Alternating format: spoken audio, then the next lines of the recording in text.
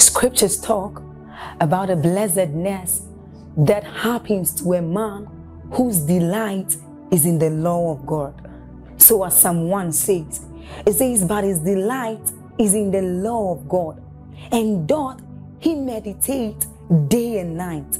He says that that man is like a tree planted by the rivers of water, whose leaves do not wither, and who bears fruit in every season. As you're about listening to this message, we believe that your life is going to be like that man planted by the rivers of water. Your leaves are forever going to bear. And we know that your, your season will not pass by. You will forever shine and you will forever bear fruit. We have a lot of content to share with you. So we would entreat you to subscribe to this channel as well as like us hit that notification bell to receive more updates from us because we know that whatever content here is going to set you on course at every time. It's going to make you attain whatever stature that Christ wants you to attain. Thank you. I have observed something that I would want to start teaching, um, just noticing and noting and correcting. Truth in itself will not automatically free you. Truth only frees you when it is sequentially arranged. Please listen. Please listen. I believe, and, and, and I've said it again and again, Pastor, that the major challenge with the body of Christ is not ignorance. I do not believe we're in ignorance.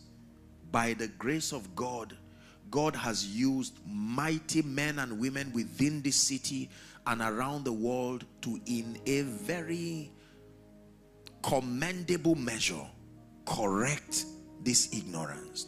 But the challenge with the body of Christ largely, number one, is imbalance. But number two, random application of truth. There is no sequence to our spiritual understanding.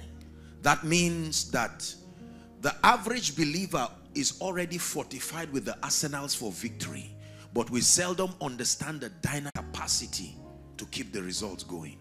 It may not only destroy you, it can destroy your children, destroy your reputation, etc.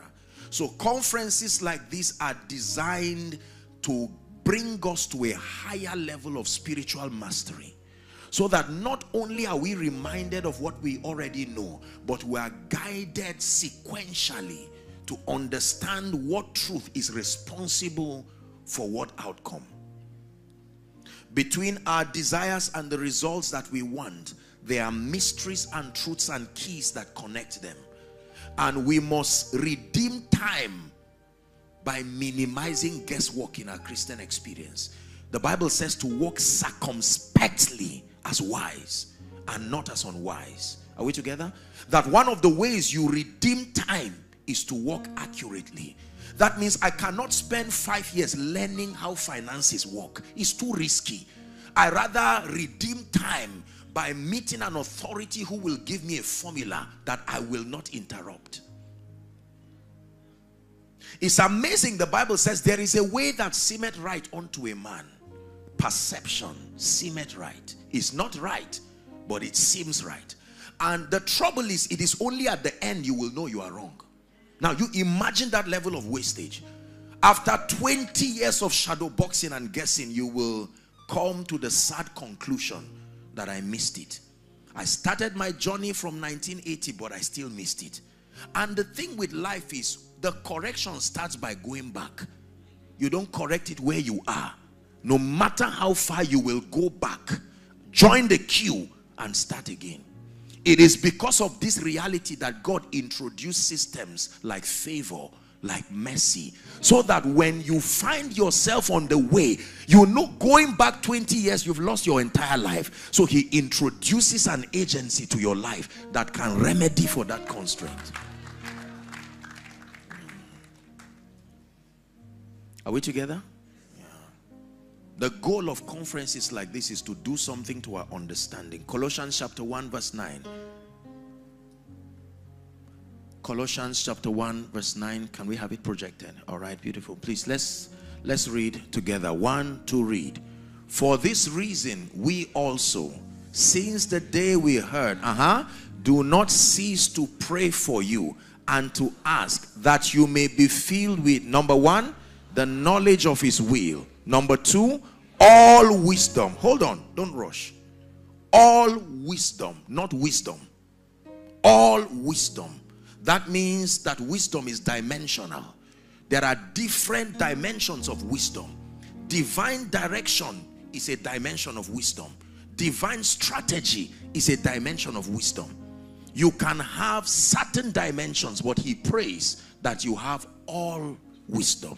And then number three, spiritual understanding. This is the apostle praying for the church in Colossae. That they be filled with all of these dimensions because he knew that being filled with these dimensions, they will now be able to rise in experience to the fullness of the measure of the stature of the Christ. Hallelujah. Praise the Lord. So I'll just share with us a few things and then we'll pray. Am I boring you? Praise the Lord. Acts chapter 26. Let's start from verse 22. Blessed be the name of the Lord. Acts chapter 26, verse 22. i like us to read and stop at the word day. Ready? One, to read, please. Having therefore obtained help of God, I continue unto this day. Men do not continue just because they want to continue. It's one thing to start, but there is a grace to continue. Remember, we are preparing for the remaining part of the year. It says, having therefore, please keep that scripture. Having therefore obtained help of God, I continue unto this day. That means if you see me standing after 20 years, something kept me. And he revealed that having therefore obtained help from God, not I start, I continue.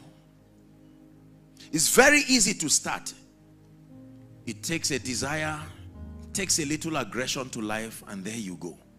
When you see people start marathon, many of you have watched people in a marathon, as soon as the whistle goes, you see a, a, crowd of people, sometimes about the size of this place. I mean, everyone, some know already they will not finish. They are aware.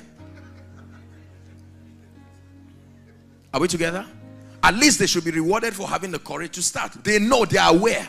They have convinced themselves they did not intend to even go far. But then you find certain quiet people, skinny looking people, determined with a resolve. And then after a few minutes or hours, a separation begins from falling to collapsing to giving up. And then some people seem to be unperturbed by this reality that should happen to every man. Every man with flesh and blood should be tired somewhere and there comes this one two or three guys they continue moving you greet them they don't answer they turn they keep running. I mean they run until they get to the finish line and they stand as if they didn't run. Same men same situation same biological composition. And yet some obtain the power. Am, am i blessing you?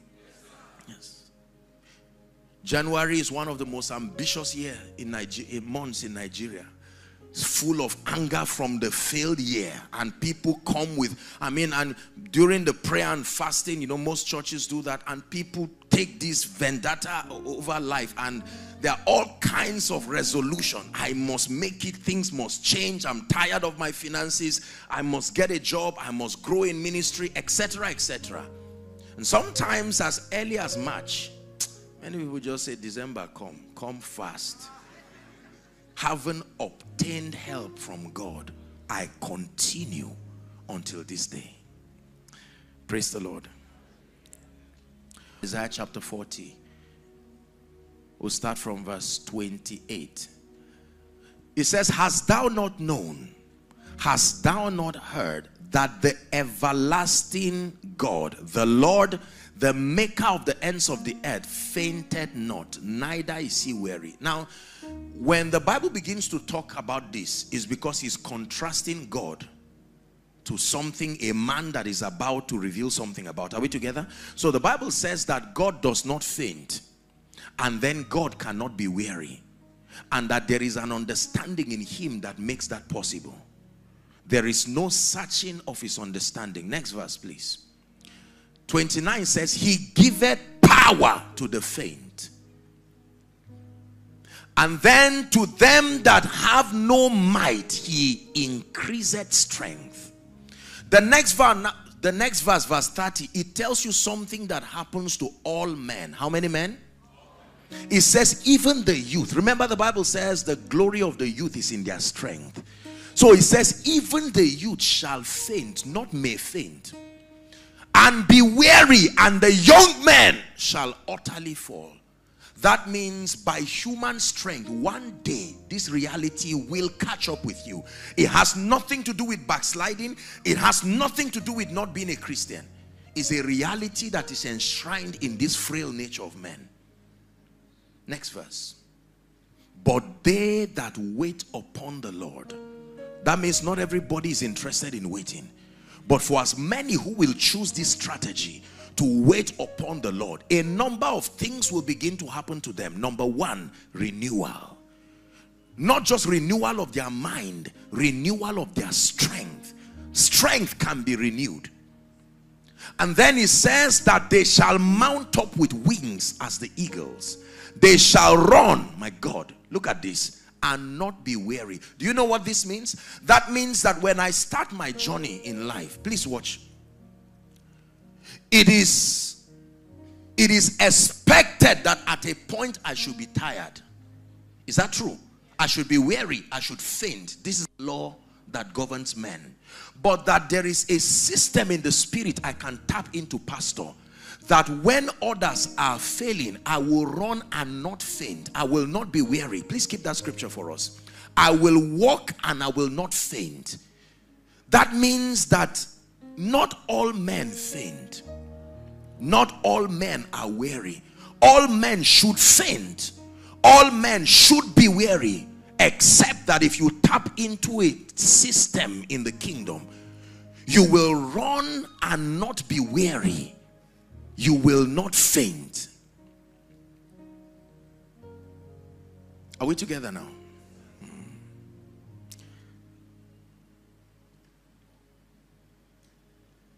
He gives power to the faint. That means if you come to God and say, Lord, I'm fainting, He does not give you an advice. He knows what is wrong. Lack of strength, lack of power was what caused the fainting in the first place.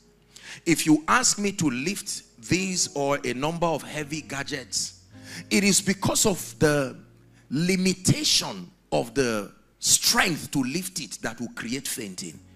I will not faint lifting a handkerchief, no matter how many times. Why? Because I sustain enough strength to lift it. So when God sees you fainting, your fainting is a message to Him Lord, no human, including me, can lift this by my strength. So He answers you by giving you power he supplies something to your life so that what you could not lift yesterday after a conference like this you will lift it by an agency that men will say no this is not human. And you say this is this is me plus another dynamic. It was not normal for Samson to kill the Philistines with the jawbone of an ass except that when the hand of the Lord came upon him even the chains that was on him, the Bible says they were like wax before the fire.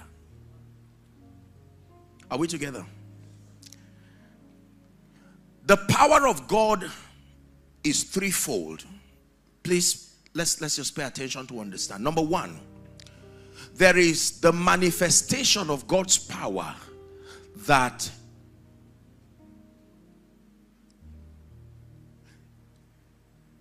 is manifested on the strength of relationship. That means that the power is a derivative of your relationship with Him. A dimension of His power comes from your relationship with Him. Number two, there is a dimension of his power that is a derivative of understanding his laws. Please say after me laws. Say principles. Say laws again. Say principles. So the second dimension of his power is routed through an understanding of his principles. You don't need a relationship with him to access that dimension of his power. It is still his power, but you can ignore him and still route that. Are we together? The third dimension of his power can be accessed when you come under a man who has a covenant with God. So that possibility will be activated in your life not by any making of your own. You are a derivative of the business a man had with God.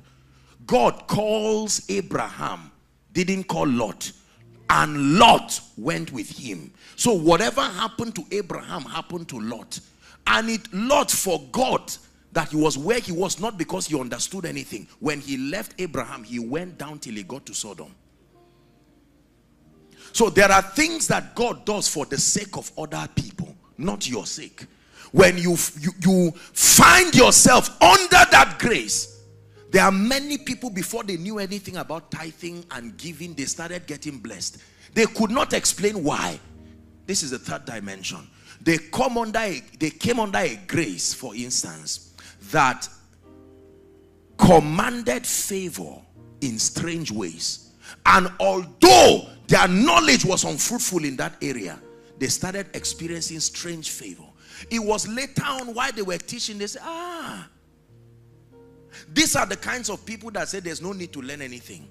Because whether they learn or not, their results don't seem to change. They just seem to go up. And they don't know what technology is responsible for their rising. Mm. Are we together? But now I want to focus on number two. Because that's the one that largely controls your individual success. Your relationship with God is very important. But many of us have not truly understood the laws of the kingdom that were built to produce the kinds of results that we desire. There is a name that God is called that I want to introduce. He's called the God of systems. That means that he operates through systems. In the Bible, you would hardly find God do anything twice the same way. The pattern of his operation is that when he comes to do a thing once, he creates a model of it and then a system within it. Are we together? So that by accessing the system, you can reproduce the results again and again and again. Please say the God of systems. So he only had to create and make man and woman once and put within that technology a system. Are we together? Yes. That means that you you do not need to pray and fast as a woman to be pregnant or as a man to get your wife pregnant. If that does not happen, someone is interrupting a system because the system was designed to work. Are we together now? That's the reason why it calls for God's attention. Because God says, Who is violating a system? I designed a system that a man and a woman should be able to have children effortlessly. What is corrupting the system? That's why it calls for prayer. That's why it calls for attention. Growth when you have your child and after two, three, four years, that child is not growing, is an aberration to the system because growth is something that was programmed in God's system. Are we together now? Success is also systemic. That means that there are a combination of laws that if diligently adhered to, regardless of the background and regardless of the prevailing circumstances, you will be able to step into your predestined place. And this is where I'm praying that God will shift us in experience. That we will stop seeing things only in visions and dreams but that our visions and dreams will find expression. We will walk in the experience. The end of faith is a manifestation that you obtain it. Are we together? Systems. When I found this dimension of God, it gave me rest. It brought predictability to my life. Are we together now? God designed systems as a proof that he is just. So there's no bias. That means that he leaves us to determine the course of our destinies and the extent to which we can go far. If I fail in life and if you fail in life, God is not to be blamed. The problem usually will be a thorough understanding of the systems of the kingdom. And let me tell you this, please, precious people of God. You may have heard me say it in different platforms again and again that when it comes to the knowledge of God and our spiritual growth, there is no end to how much we can know about God. Even in heaven, we will continue to come up hither, come up hither as we see dimensions of Him unfold. But as far as our victory and dominion in the earth is concerned, there is an exact body of knowledge allocated for our victory like a curriculum, you can exhaust it and know I've held the keys. Away with that idea that the things you have to learn to succeed are infinite. It's not true. There is an exact body of truth that you can hold on to and tame life like an animal. Praise the Lord. The reason why many believers fail is because we have this illusion that there are infinite laws to learn and you are wondering at what point will I exhaust it? God would not be that heartless. There is an exact body of truth allocated for the victory of the saints and that it is possible that a man can hold the keys with all humility. Now you look at the life of a student in school learning does not stop but the curriculum to graduate him is finite he can finish it and his certificate is given to him now you continue to learn, but as far as that body of knowledge is concerned, you've been accredited. This is how it is with life. You can hold on the keys and step out with boldness and stand and look at the mountain of finances and it goes down. And your influence multiplies. And the Lord continues to bless you. And like Abraham, you are old and well stricken in age and God would have blessed you in all things. How many things? All things.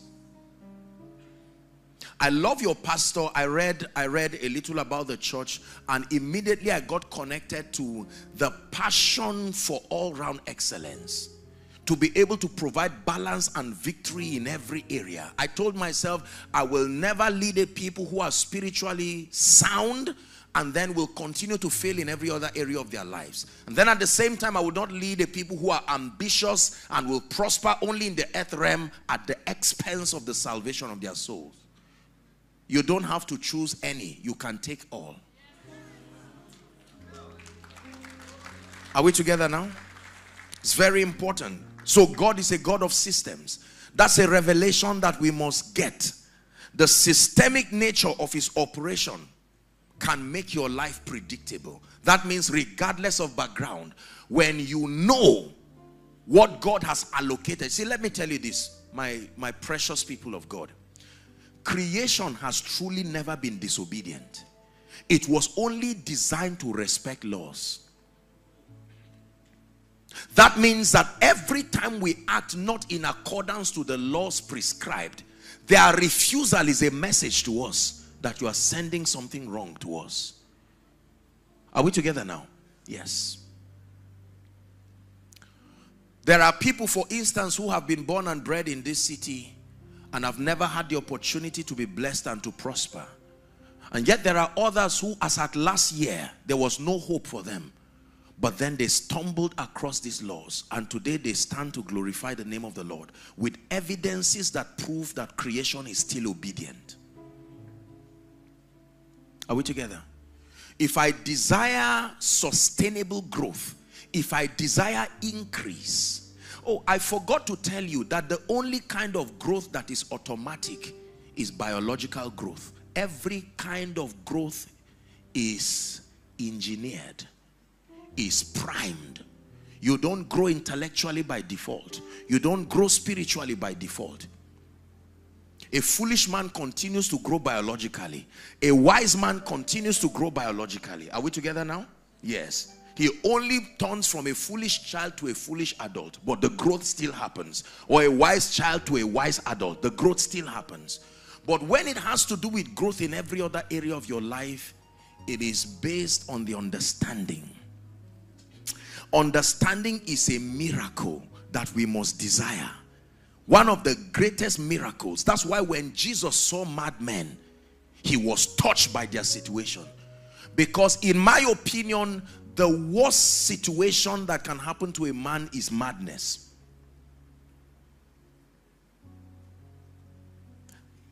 There are people today blind who are doing great things. There are people without limbs who are doing great things. But I'm not aware of any madman. Madness is a real issue. When Jesus saw it, he didn't let it go.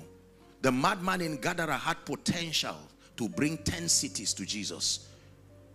And one plague over his mind and it kept that man forever. The miracle of understanding is a real miracle. The Bible says, then open he their understanding that they might understand scripture. Next time you are listing all the miracles in the Bible, leave the issue of bread. Leave the issue of wine. Go to understanding. You are truly, truly blessed and lifted when you have understanding. Let me share just one or two keys and then we'll pray and then we can continue tomorrow. Is the Lord blessing you? Understanding.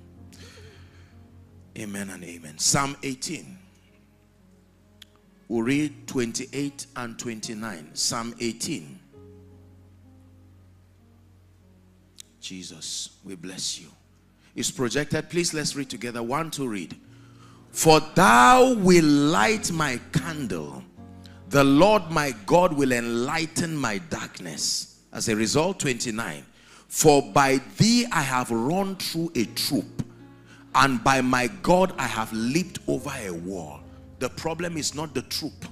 The problem is not the war. It says that you will light my candle. Was it not Job that showed us the secrets of his exploits. He said, In the days of my youth, when the secrets of the Lord were upon my tabernacle, then he began to list all the exploits that happened on account of that. Spiritual illumination is real power. Remember, the Bible says he gives power to the faint. I want you to know how the power comes because for many people, when we think power, we just think power, fall down, stand up. That's wonderful. But that light in the kingdom is true power. Spiritual illumination is power. That when God supplies a miracle of information in your understanding, it can take you from where you are and take you to a dimension you never thought possible. Isaiah chapter 60 and verse 1 says, Arise, shine, for your light is come and the glory of the Lord is risen upon you. I like to quote it from Amplified. It says, Arise from the depression and prostration that circumstances have kept you. Rise to a new light. Circumstances keep you until light comes to bail you out. Light is powerful. You switch off the light in this entire place and it becomes dark, surprisingly dark. But you introduce that light and things begin to change. Let me tell you this. You know the area of darkness in your life by the difficulty that surrounds that area. Light was designed to bring ease because whoever has light does not stumble. Stumbling is a proof of darkness. When there is difficulty in ministry, something is wrong. When there is difficulty in finances, something is wrong. When there is difficulty in your influence, your business, whatever it is. Now, it takes a lot of meekness to admit it. Especially if you have results in other areas. It's usually easier if you are you completely fail in every area. But once you have some results, The Bible says there was a man, a captain of the Syrian army. Naaman was called. A valiant man at war. But the Bible says, but he had light when it had to do with warfare. But when it had to do with his wholeness, there was something wrong. And one day, a slave girl decided to put this man's ego under pressure. Mr. Man, although you are a warrior, you are only a warrior in battle. And sorry, there is no fight. So now you will have to join the queue and learn what it takes to also succeed in the other areas you need. And when Elisha gave him an instruction, he said, What kind of embarrassment is this? There are other rivers. Don't, I mean, I'm a warrior here. The greatest enemy to your success is the last one you had. Failure is the key to success. Success is the key to failure. It is true. Mismanaged success is the key to failure. The fastest way to fail is to succeed and not understand the dynamics of maintaining it. Let me tell you this. As easy as being successful is, the easiest part of it is becoming it. Maintaining success is 10 times harder than getting successful. The dynamics in that realm is very complicated. You will need help. Having obtained help from God, I continue to this day light, light, exact light, spiritual illumination that is responsible for your victory. Are we together now? Please let me have three or four gentlemen. Any persons? Okay, let me use the guys. Please come stand here. Thank you. Now, everyone, please watch. Let these guys represent the various areas of our lives where we are trusting God to come through. Let this, my brother here, represent your finances. Say finances, please. Ah, Nigerians, say finances. Oh.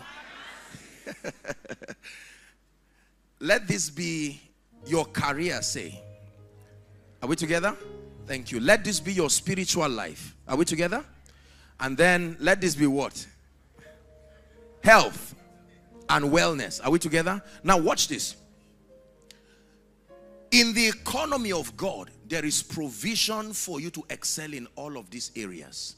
Are we together? But connecting you and any area is a light. I call it a mystery. Matthew 13 and verse 11. Jesus was speaking and he said, It has been given unto you to know, to know the mysteries of the kingdom. Not just to be aware that they are there, but to become one with them such that your life can prove their validity. Are we together now? So I want to excel financially. And then I do whatever I was told to do, and this thing does not answer. And it's amazing that while you are suffering, another person is just rising as if the devil does not exist. And you exhaust all your knowledge, you are stranded, you need light. Are we together? Hmm. It takes a long time. Colossians chapter 3 and verse 16 encourages us to receive with meekness the engrafted word. You see, it takes meekness, humility, a recognition that learning is not a course. You have to come to a point where you are not embarrassed by your ignorance.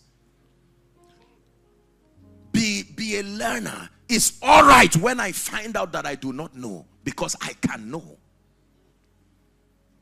Growth is something that is a miracle in men. That means something I did not know yesterday, I can know tomorrow. And while you are laughing at the yesterday version of me, I have evolved to something else. I know that the yesterday version of me could not pay rent, except that between yesterday and tomorrow, something happened to my today.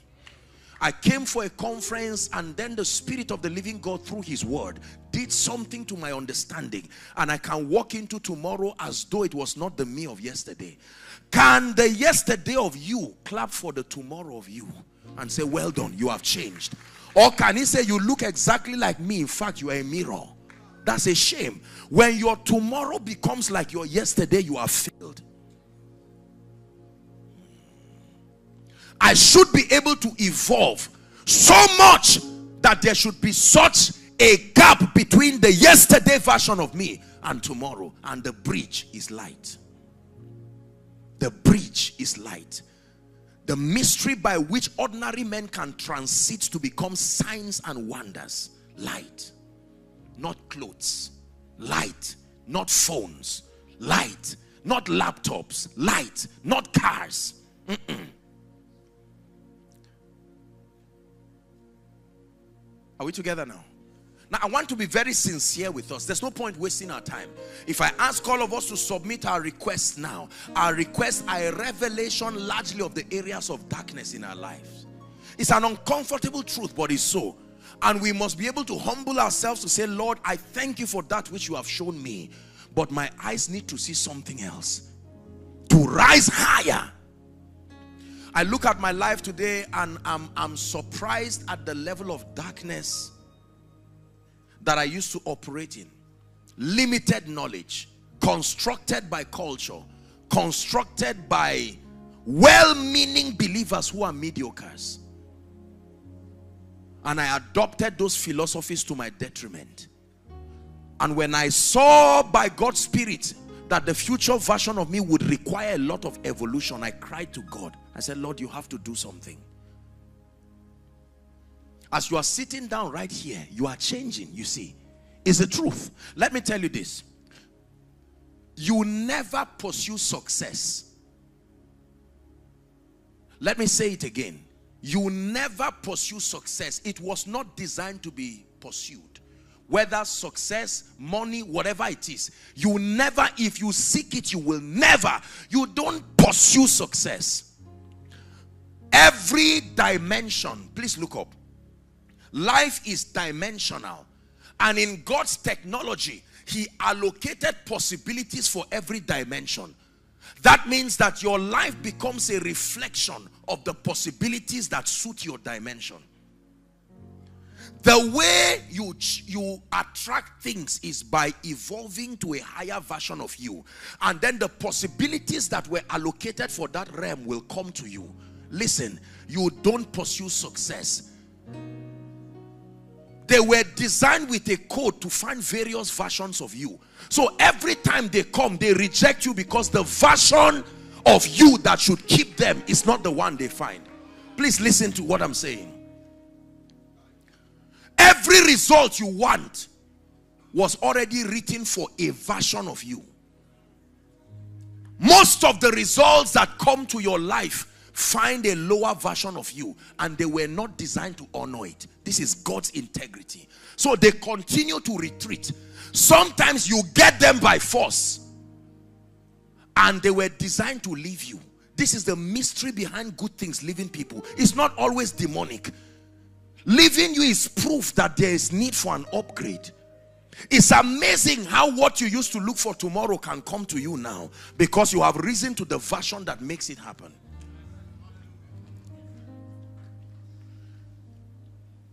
There are people who desire growth and that growth happens by transformation. But most of them will not subscribe to the discipline of transformation. Yet the pressure, the ego will compel them to continue to acquire things around their life. And then you find out that they continue to lose it. Are we together? It is true that your business can scale, but not by this version of you not by this version of your understanding. It is true that your ministry can be global, but not by this version of you. Not this level of anointing. No, this level of anointing cannot sponsor a global ministry.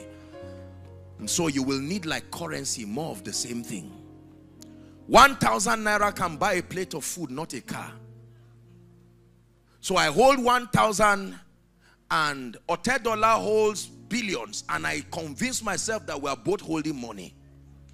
Life will soon tell us that the amount matters. How God anointed Jesus. Not that he was anointed. Look at the extent. Is God speaking to us this afternoon? So I, I, I, came here to really shake us and challenge us. What area in your life has refused to bow to the Lordship of Christ? That is the area you need to cry for light there is a dimension of light lord why do i come to seek favor i've heard pastor talk about favor i've seen people come into lagos and within five months their lives change i was born and bred in this city Not me, not my father, not my mother, nothing is changing. Favor is still real. Your experience is too small to prove otherwise. So when the dynamics of it comes to you, then you learn. And then suddenly, Lagos starts to respond to the version of you they have been waiting for. There is nothing that should come to you that is missing. Stop looking for it. Uh-uh. A code was programmed in it by God's intelligence to come to the version of you that calls it. Every dimension you rise to has a voice. It will call the possibilities that were sent to that dimension. Ask any great to humble ourselves and admit this. This the investment and the sacrifice to build understanding and build mastery it distinguishes you. Your pastor is where he is not just because God called him. Let me tell you the call of God is not the license to success. You can still fail. There were people in the Bible God did not call. They succeeded you go and read your Bible Elisha there was no prophecy about him Elisha was a farmer he was not a prophet but he subscribed to the law of mentorship until he carried the mantle. And other people like Moses, your Moses, didn't enter the promised land. The call of God is not an automatic ticket for success. You, even if you see Jesus, you will still bend to the reality of the principles that make for success. When Jesus appeared to Saul, he said, I'm done. I recommend you back. Go and continue to learn. From there, he would go to the wilderness of Arabia for 18 years. Even Jesus, the word himself, went to the temple to learn about himself again. He went to learn Jesus the way.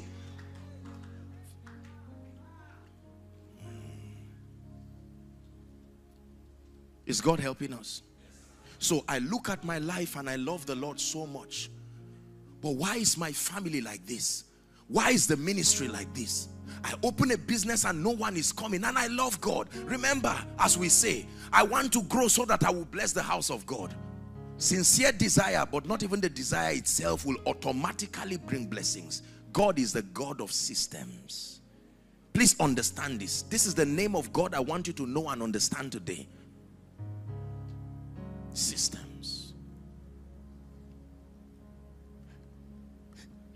Came to listen to the prayer and the sacrifice of both Cain and Abel. Did you know that God attended to both of them unbiasedly?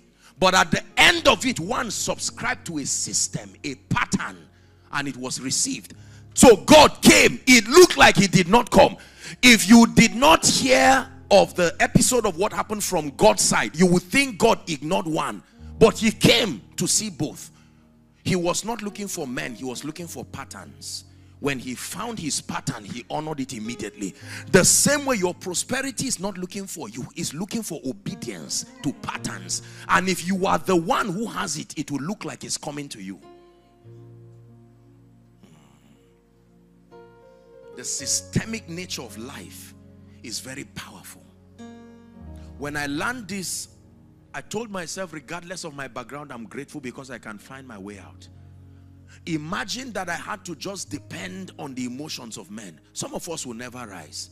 But the God of heaven who programmed this system, the same way you are sitting now, forget about what is in your pocket or not in your pocket. Forget about who knows you or not. If you pay attention and light takes you from your yesterday through your today into your tomorrow, you will turn back and say, My God, I've heard people saying that you can change men, but this is true.